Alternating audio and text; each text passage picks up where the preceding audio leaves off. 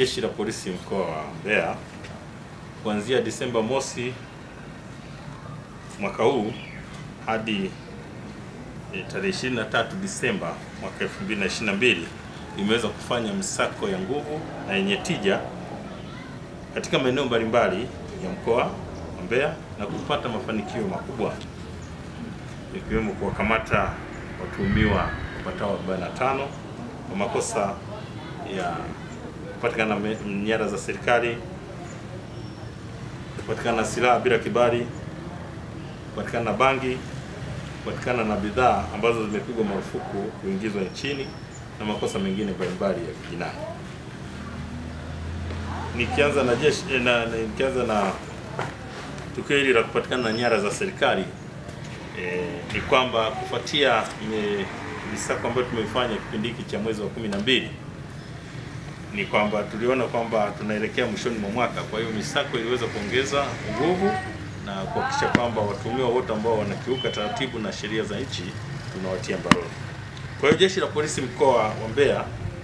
eh, linamshikilia mtu mmoja anaitwa Elias Laurent Kayuti, huyu ana umri wa miaka hamsini, ni mkazi wa Makongorosi. Huyu alikamatwa akiwa na vipande vitano vya meno ya tembo vyenye uzito wa kilo eh, 18.5 tano ambavyo baada ya kupima na kupata thamani kutoka kwa wathamini wa idara ya wanyamapori tulipata kwamba vina thamani ya shilingi milioni 34950 na huyu alikutwa akiwa amevificha kwenye begi jeusi akiwa tayari akijiandaa kwa ajili ya kwenda ku, kuuza ambako walikuwa wanafahamu kwamba anahitajika. Kwa hiyo huyo mtumiwa katika mahojiano imeonekana kwamba ni mwindaji haramu na anategemea kufikishwa mahakamani, lakini tayari taratibu za kumfikisha mahakamani zimekwisha fanyika na amefikishwa mbele ya hakimu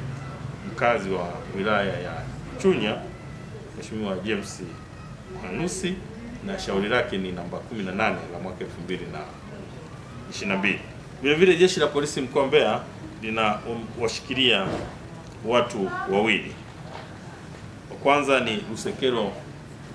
Ndembera, huyu ana umri wa miaka 45, ni mkazi wa Kiwanja hapa wilaya ya Chunya, na wa pili ni Charles Daudi, huyu ana umri wa miaka 34, ni dereva wa bodaboda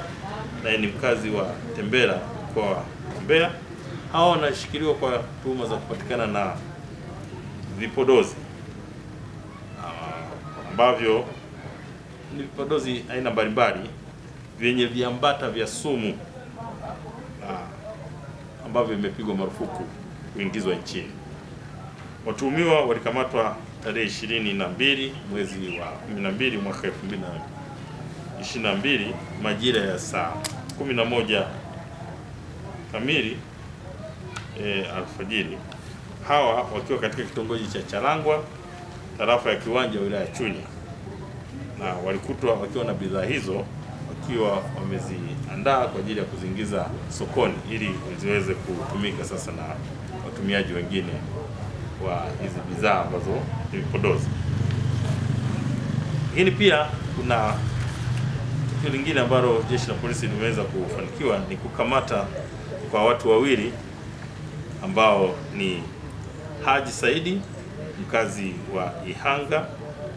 na Fikiri Batoni